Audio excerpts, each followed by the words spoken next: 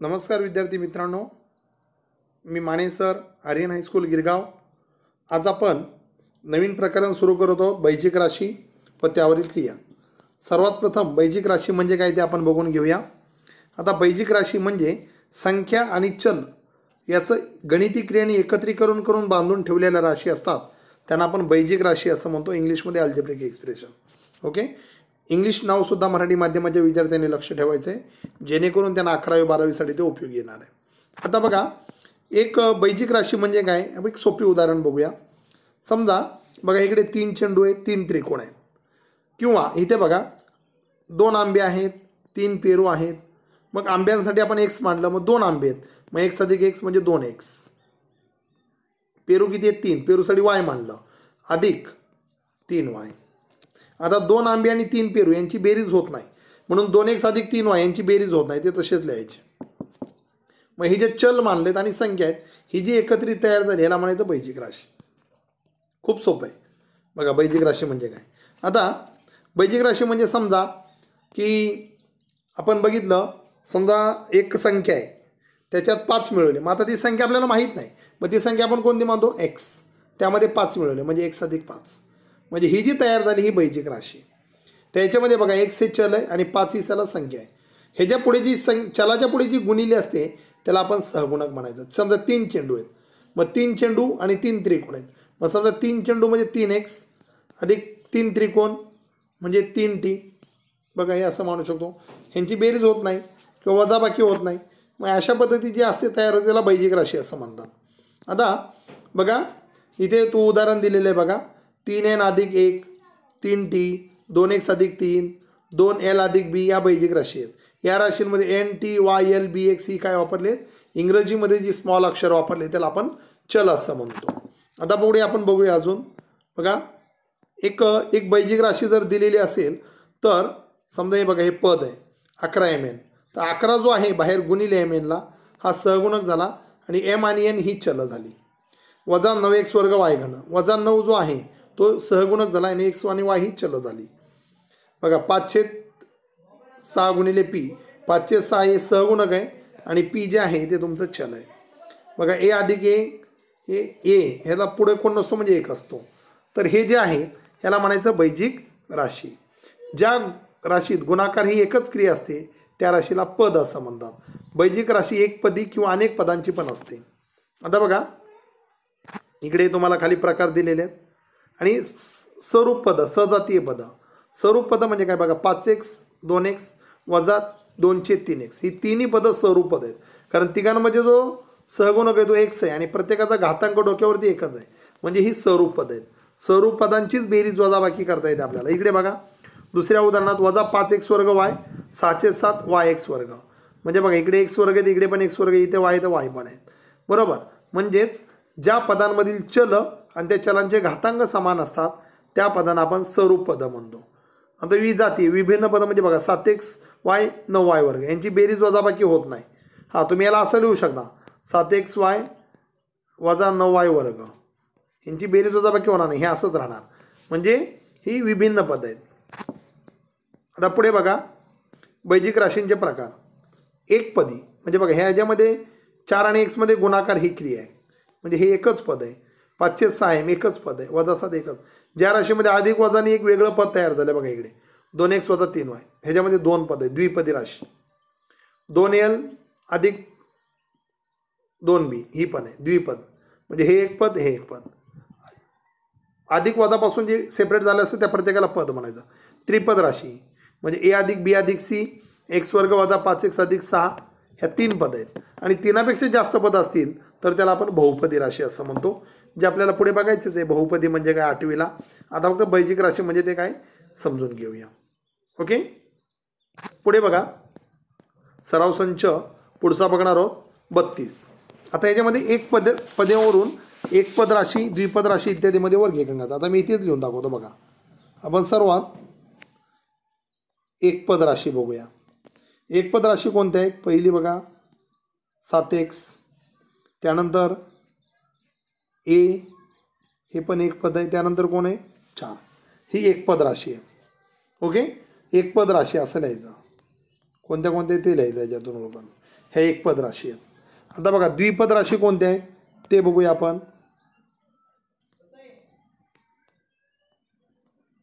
द्विपद राशी. द्विपद राशी म्हणजे बघा ही एक येणार. म्हणजेच पाचवाय वजा सात झेड ही एक आली. त्यानंतर ही नाही येणार ही नाही येणार. ही एक येणार. कोणती? पाच एम वजा तीन. ओके ह्या दोनच येणार द्विपद राशी. ही आणि ही. त्यानंतर त्रिपद राशी बघा. त्रिपद राशी. तीन पद आहेत. ही एक येईल. म्हणजे तीन एक्स घन वजा पाच एक्स वर्ग वजा अकरा. आणि ही एक येईल. कोणती? बघा. तीन वाय वर्ग वजा सात वाय अधिक पाच. ओके? ही पण त्रिपद राशी ही पण त्रिपद राशी. आता बघा. बहुपदी. बहुपदी कोणती आहे बघा? बहुपदी. एक वजा आठे वजा सातेचा वर्ग. वजा सातेचा घन. ह्याच्यामध्ये एकूण चार पद आहेत. म्हणजे ही तुमची बहुपदी आहे. तर अशा पद्धतीने एकपद राशी द्विपद राशी आणि त्रिपद राशी बहुपदी तुम्हाला ओळखता आलं पाहिजे. हा झाला तुमचा सराव संच बत्तीस. तुम्हाला सोडवता येईल. मी पुन्हा एकदा सांगतो आहे बघा परत. ही एकपदी राशी ही द्विपद राशी आहे ही त्रिपद राशी आहे ही बहुपदी राशी आहे किंवा बहुपदी म्हणता येईल. द्विपद राशी त्यानंतर हा एकपद एकपद राशी त्रिपद राशी. ओके? पुढे बघा. बैजिक राशींची बेरीज. बेरीज कशी करायची बघा.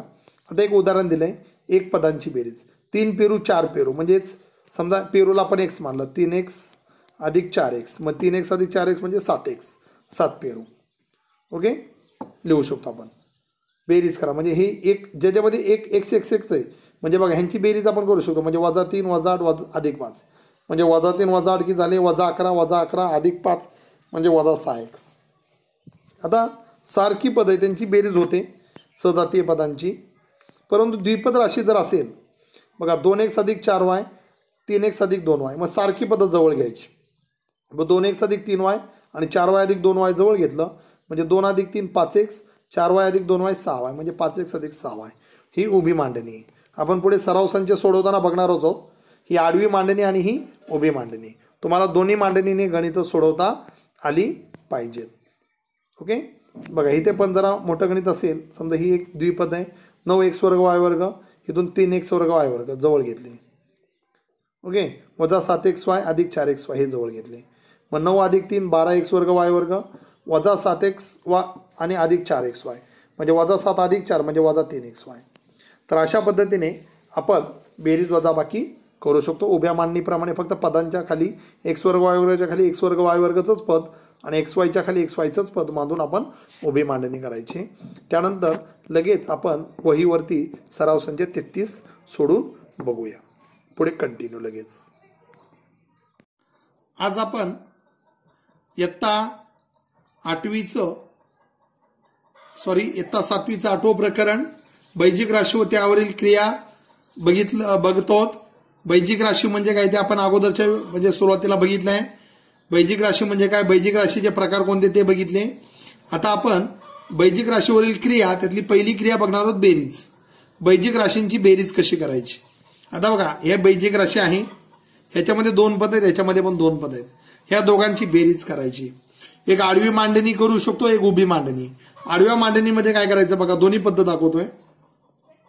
नऊ पी अधिक सोळा क्यू अधिक तेरा पी अधिक दोन क्यू. बरोबर? आता बघा बेरीज करताना जी सारखी पद आहेत सजातीय पद आहेत ती जवळ घ्यायची.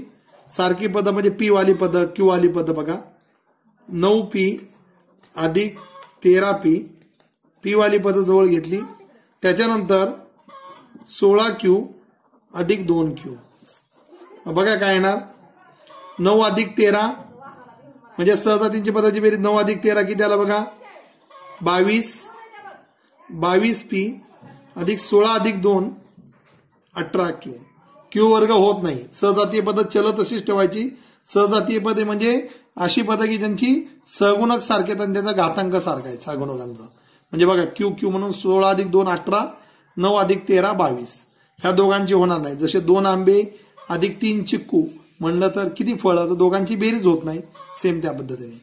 ही झाली हे उत्तर झालं. आता उभ्या पद्धतीने काय करायचं बघा? उभी मांडणी ही आडवी मांडणी. आता उभी मांडणी बघा. कोणतीही करू शकता. उभी मांडणी. काय करायचं? नऊ पी अधिक सोळा क्यू अधिक त्याच्या खालोखाल लिहायचे तेरा पी अधिक दोन क्यू. बेरीज बघा. नऊ अधिक तेरा बावीस सोळा अधिक दोन अठरा. तर या पद्धतीने आपण उभ्या मांडणीप्रमाणे केलं. आता दुसरं गणित बघा. आडव्या मांडणीने करूया पहिल्यांदा. पहिलं दोन ए सहा बी आठ सी अधिक सोळा ए तेरा सी अधिक अठरा बी. मग सारखी पद्धत जवळ घ्या. म्हणजे दोन ए अधिक सोळा ए. नंतर बी वाली पद्धत जवळ घ्या. सहा बी अधिक अठरा बी आणि सी वाली आठ सी अधिक तेरा सी. आता बघा काय येणार मग. दोन अधिक सोळा अठरा ए. अठरा अधिक सहा म्हणजे चोवीस बी. आठ अधिक तेरा तेरामध्ये आठ मिळवलं म्हणजे एकवीस. एकवीस हे तुमचं उत्तर झालं. ही उभी मांडणी आहे. आता उभी सॉरी आडवी मांडणी. उभी मांडणीने बघा कोणती एकच मांडणी करायची तुम्ही? काय येणार बघा? दोन ए सहा बी आठ सी सोळा ए. त्यानंतर बीच्या खाली बीचं बदलायचं.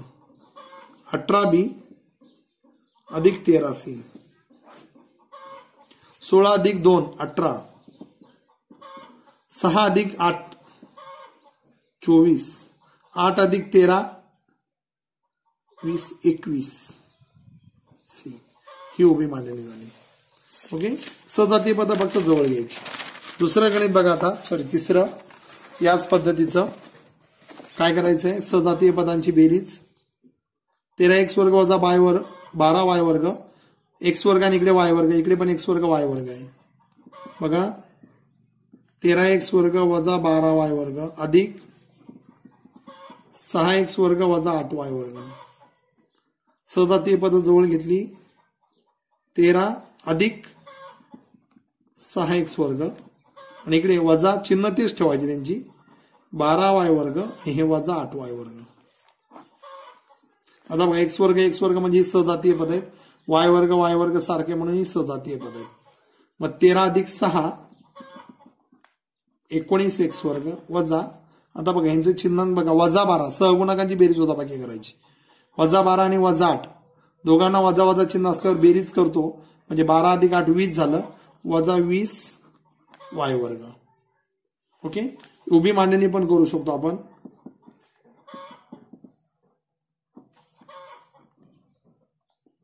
तेरा एक्स वर्ग वजा बारा वाय वर्ग. बघा इकडे. सहा एक्स वर्ग वजा आठ वाय वर्ग. अधिक तेरा अधिक सहा एकोणीस वजा बारा वजा आठ वजा वीस वाय वर्ग. या पद्धतीने केलं तरी चालेल. आता इकडे बघा.